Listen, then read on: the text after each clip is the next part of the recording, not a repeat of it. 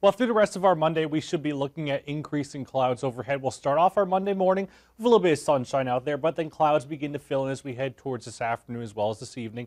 The opportunity for a few stray snow flurries out and about there as well, but for the most part, any snow showers that we do see today should be fairly light in nature, probably will not amount to all that much, and definitely will not have any impact on the roads as we head towards this evening. Again, for our day tomorrow, waking up with mostly cloudy skies overhead.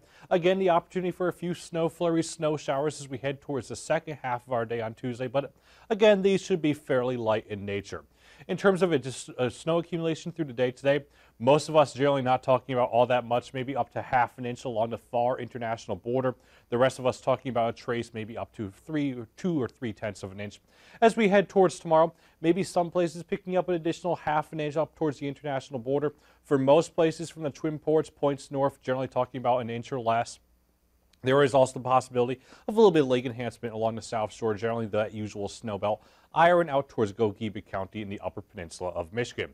So here's how we're planning out your forecast for today. Today, we start off the day with a little bit of sunshine out there, but then increasing clouds overhead. The opportunity for a few stray snow flurries here and there, especially through the afternoon as well as the evening hours today, as temperatures today make their way into the low and mid 30s.